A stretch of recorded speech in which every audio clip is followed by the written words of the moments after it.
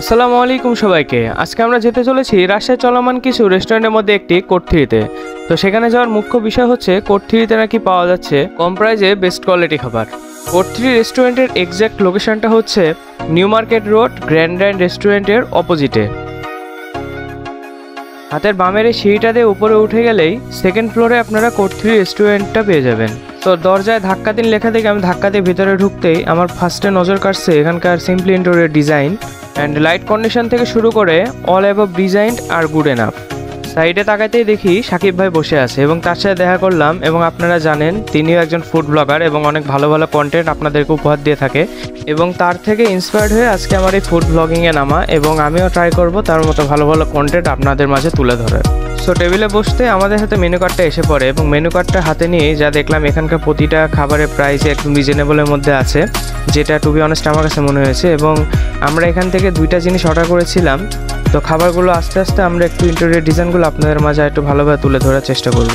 কোটরির interior ডিজাইনটা যদি এক কথায় বলতে হয়, আমার কাছে একদম অসাধারণ লেগেছে এবং কর্নারের সাইডটা আমার কাছে একটু বেশি ভালো লাগায়। খাবার আসা পর্যন্ত আমরা একটু এখানে ফটো ক্লিক করলাম।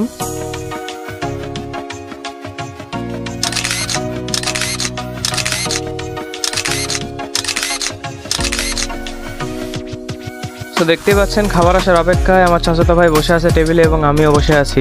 কিছুক্ষণ অপেক্ষা করার পর আমরা যেটা ফার্স্ট অর্ডার দিয়েছিলাম, ওইটা চলে আসে এবং এই আইটেমটার নাম ছিল জুসি পাস্তা সো খাবারটার নাম যেহেতু জুসি পাস্তা সো খেয়ে দেখা যাক এটাতে কত রেটিং দেওয়া যায় এবং কতটা জুসিনেস আছে। আমি চিকেন অ্যান্ড পাস্তার কম্বিনেশন করে যখন এটা মুখে দিলাম সো আমার কাছে জুসিনেসটা একদম ঠিকঠাক মনে হয়েছে অ্যান্ড খাবারের টেস্টটা অ্যাকুরেট ছিল। বাট এটা একটু স্পাইসি টাইপ এই জন্য আমি আশেপাশে ড্রিঙ্কস আছে নাকি দেখছিলাম। ড্রিঙ্কস অর্ডার দিয়েছি বাট আসতে একটু লেট করছে। সো যারা এটা আগে ট্রাই করবেন ড্রিঙ্কসটা নিয়ে বসবেন, তাহলে প্যারা খেতে হবে না। জুসি পাস্তাতে আমি প্রতিটা জিনিসের যে ইনগ্রিডিয়েন্টসের পরিমাণ আমি একদম ঠিকঠাক অ্যাকুরেট পেয়েছি এবং এটার টেস্ট কোয়ালিটি দারুণ ছিল। অ্যান্ড এটাকে যদি রেটিং দিতে হয়, আমি টেন আউট অফ নাইন দেবো।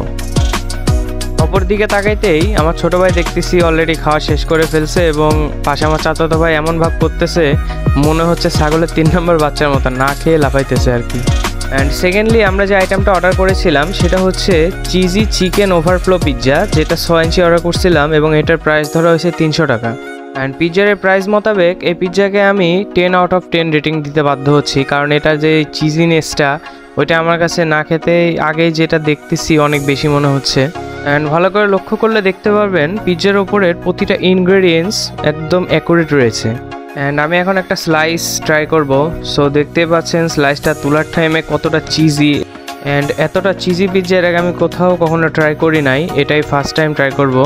সো পিৎজাটা মুখে দিতে আমার পুরো মুখটা চিজে ভরে গেল এবং তারপর আমি বুঝতে পারলাম আসলে কেন এটার নাম ওভারফ্লো দেওয়া হয়েছে। টু বি অনেস্ট আমার তরফ থেকে এটা আপনাদের জন্য রিকমেন্ডেড করা থাকবে। এক কথায় আমার কাছে অসাধারণ লাগছে পিৎজাটা অ্যান্ড যারা চিজি লাভার আছেন, তাদের জন্য এক কথায় পারফেক্ট একটা পিৎজা হবে এটা। সো পিৎজাটা ট্রাই করতে করতে আমি আমার ছোট ভাইকে অ্যাডভাইস দিচ্ছিলাম যে, এত ফাস্টফুড খাস না, তাহলে যা মোটা আসিস আরও বেশি মোটা হয়ে যাবি। এক কথায় পিৎজাটা আমি একাই খাওয়ার চিন্তা ভাবনা করছিলাম আর কি। পারি না আর পারি না। কারও সাথে পারি না।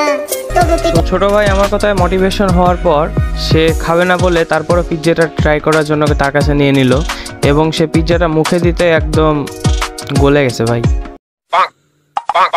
দেন ছোট ভাইয়ের খাবার দেখে চাচাতো ভাইয়ের অবস্থাটা একটু দেখুন। আজকে আমার মন ভালো নেই। সো খাওয়া দাওয়া শেষে আমাদের টোটাল বিল আসছিল পাঁচশো টাকা এবং টাকাটা দিয়ে আমরা নিচে নেমে আসি। এবং আজকের ভিডিও এ পর্যন্তই। আগামী ভিডিও আসা পর্যন্ত সবাই সুস্থ থাকবেন, ভালো থাকবেন। আসসালামু আলাইকুম।